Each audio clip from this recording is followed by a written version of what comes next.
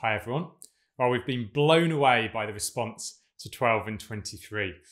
Thousands of you have already started the challenge, and some of you have already completed it, which is a ridiculous and amazing achievement.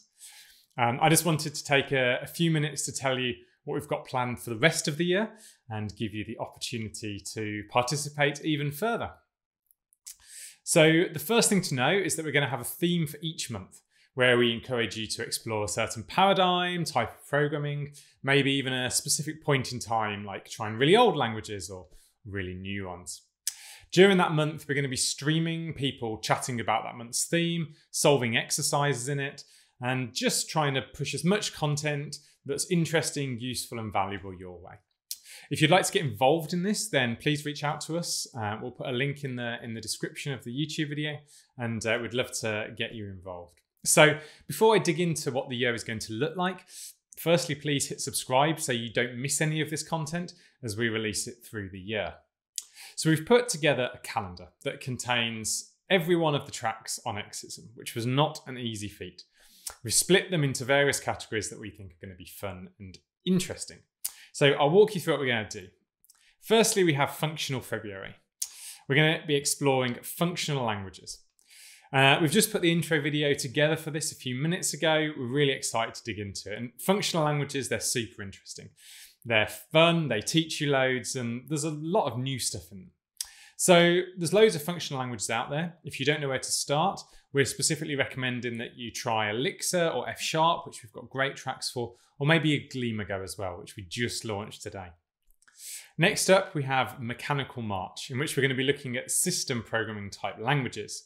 These are things like C++ or Go, maybe Nim, things that tend to compile to machine code. There might be some memory management for you to think about, or maybe they just make you consider how the code's actually executed.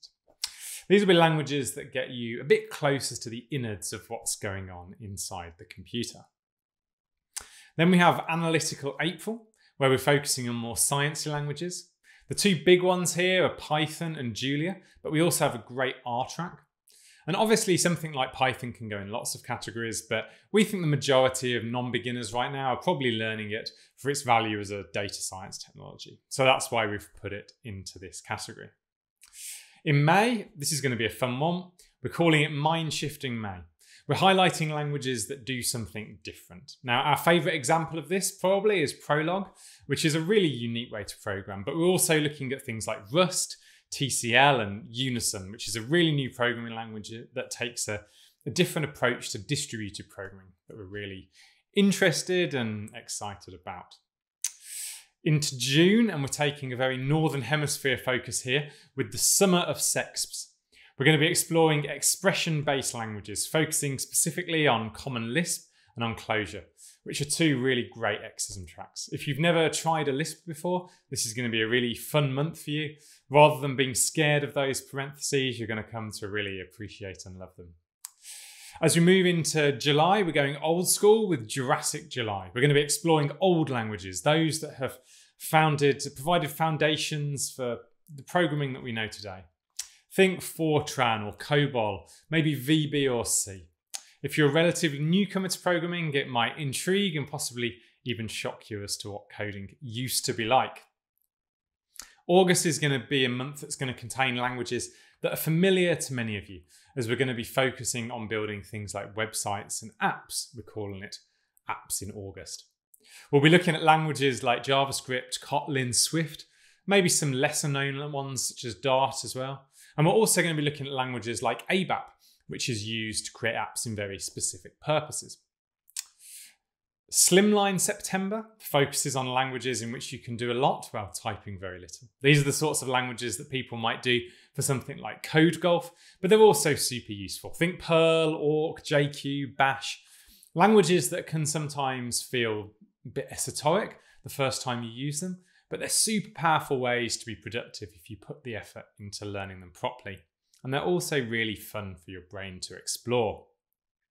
Month 10 is Object Orientated October, where we're exploring, exploring languages that focus heavily on object oriented programming, languages like Ruby and C Sharp, and lesser known ones like Crystal and Pharo.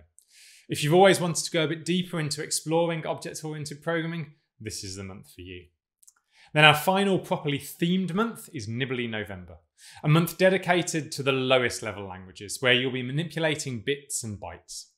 We're focusing on two languages specifically x86 assembly, the language that may well be uh, underpinning the hardware that you're watching this on, and WebAssembly, a new kid on the block that allows you to run any other programming language in your web browser.